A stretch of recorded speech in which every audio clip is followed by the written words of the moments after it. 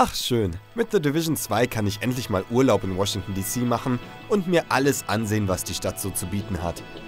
Das Weiße Haus, große Parkanlagen, das Washington Monument, mordende Straßengangs. Äh, Moment mal. 15 Dollar Eintritt? Das ist ja Wucher. Kein Wunder, dass die Stadt so vor die Hunde gegangen ist. Naja, okay, vermutlich liegt das eher am Virus, das im ersten Teil verbreitet wurde und einen Großteil der Bevölkerung ausgelöscht hat. The Division 2 spielt sieben Monate nach diesen Ereignissen und schickt uns dieses Mal nach Washington DC, wo wir der Division zu neuer Stärke verhelfen, feindliche Gangs aus der Stadt kicken und den Bewohnern unter die Arme greifen. Und um das schon mal vorwegzunehmen, bis auf die Story ist The Division 2 großartig geworden.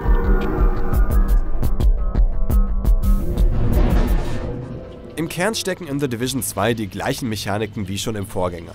Ihr absolviert Missionen, steigt im Level auf, rüstet neues Loot aus und startet die nächste Aktivität.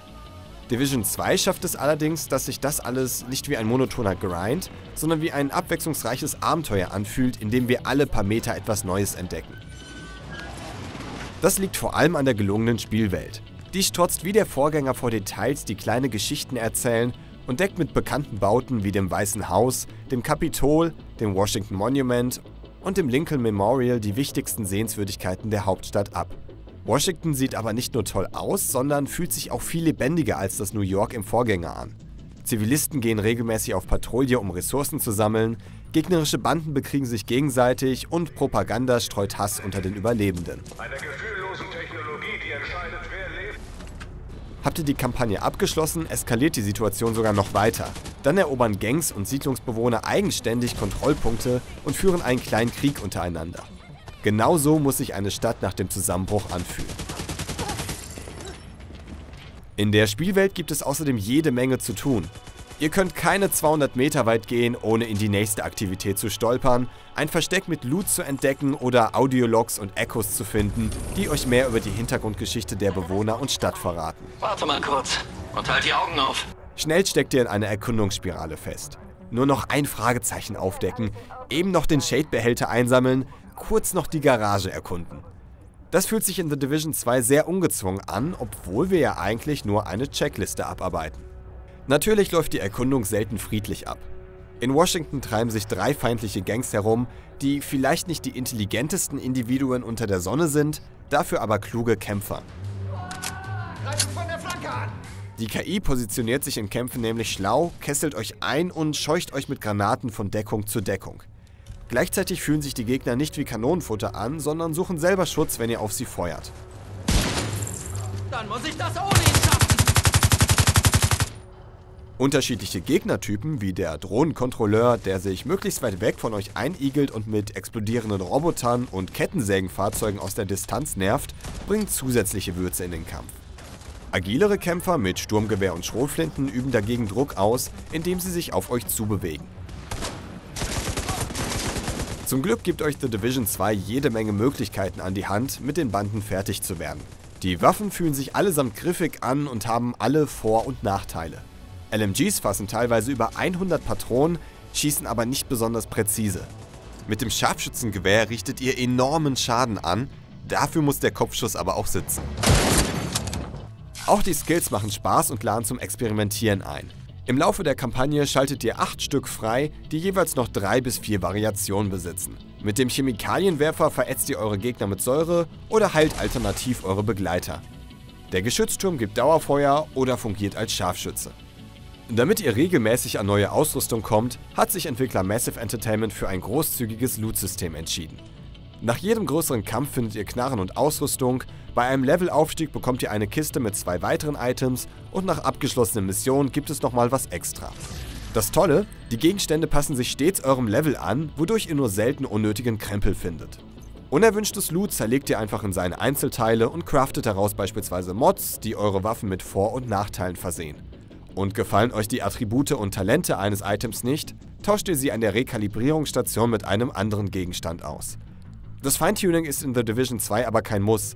Wenn ihr lediglich durch die Kampagne kommen wollt, reicht es schon, wenn ihr einfach immer die Items mit dem höchsten Level anlegt. Apropos Kampagne. Die Hauptmissionen sind toll gestaltet und abwechslungsreicher als im Vorgänger.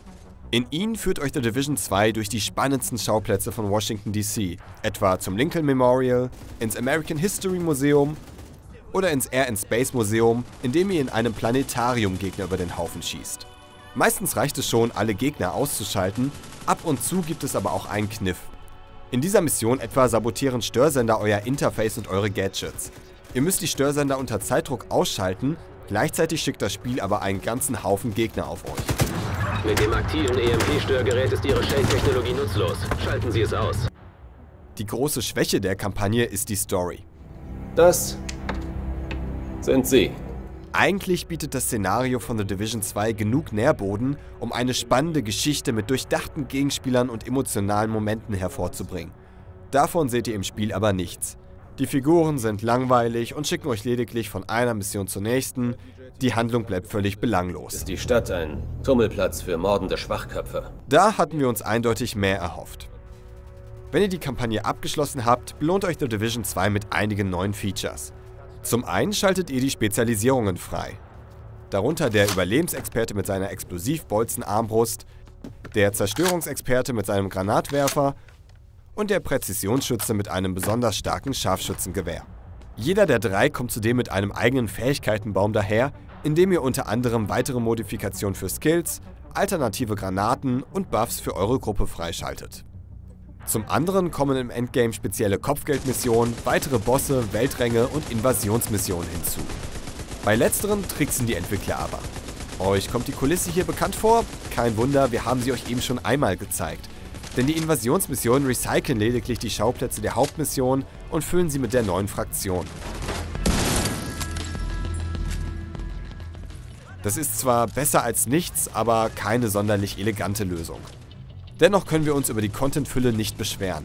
The Division 2 ist zum Release viel vollgepackter als das bei The Division 1 der Fall war und lässt auch Genre-Konkurrenten wie Anthem und Destiny 2 hinter sich. Neben den ganzen Haupt- und Nebenmissionen, Aktivitäten, Kopfgeldern und Geheimnissen in der Spielwelt stecken auch noch drei Dark Zones und ein separater PvP-Modus im Loot-Shooter. Die Dark Zones gefallen uns sowohl von der Größe als auch von ihrer Architektur her sehr gut. Im Gegensatz zum Vorgänger, in dem es eine große Dark Zone in der Mitte der Karte gab, verteilen sich die drei Dark Zone in The Division 2 nun auf den Osten, Süden und Westen Washingtons und sind so optisch wesentlich abwechslungsreicher. Am Spielprinzip in der Dark Zone hat sich wenig geändert. Ihr trefft hier nach wie vor andere Spieler, denen ihr entweder unter die Arme greifen oder aber in den Rücken fallen könnt. Kontaminiertes Loot ist besonders wertvoll, muss aber von einem Hubschrauber abgeholt werden, was wiederum KI-Gegner und Spieler in der Dark Zone anlockt. Gebt ihr den Löffel ab, verliert ihr euer kontaminiertes Loot. Und da das schnell frustrieren kann, hat sich Massive Entertainment eine tolle Lösung ausgedacht. Ihr findet jetzt auch nicht kontaminiertes Loot, das ihr direkt anlegen könnt und beim Ableben behaltet. Dadurch hat uns die Dark Zone auch in schlechten Momenten weitaus weniger frustriert als noch im Vorgänger.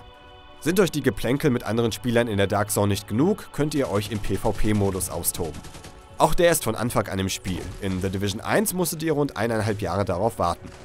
Zur Auswahl stehen die Spielmodi Gefecht und Vorherrschaft, wohinter sich Team Deathmatch und Domination verbergen. Gespielt wird 4 gegen 4. Beide Modi erfinden das Shooter-Genre zwar nicht neu und bedienen sich stattdessen an alterprobten Abläufen, fügen sich aber dennoch schön ins Spiel ein. Ihr rennt nicht wie in einem Black Ops 4 wild durch die Gegend und schaltet Gegner mit zwei gezielten Kopfschüssen aus, sondern huscht von Deckung zu Deckung und nutzt eure Gadgets und Granaten, um Gegner aufzuscheuchen. The Division 2 befindet sich schon zu Release in einem tollen Zustand. Von der belanglosen Story und kleineren Bugs und KI-Aussetzern abgesehen, macht der Loot-Shooter sehr viel richtig und jede Menge Spaß. Die kleinen Detailverbesserungen wie die lebendigere Welt, die überarbeitete KI und Endgame-Spezialisierungen ergeben in der Summe einen großartigen Loot-Shooter, von dem sich die Konkurrenz noch eine Scheibe abschneiden kann.